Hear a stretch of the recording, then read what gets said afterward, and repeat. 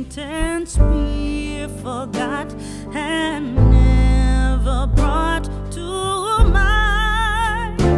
Should old acquaintance be forgot?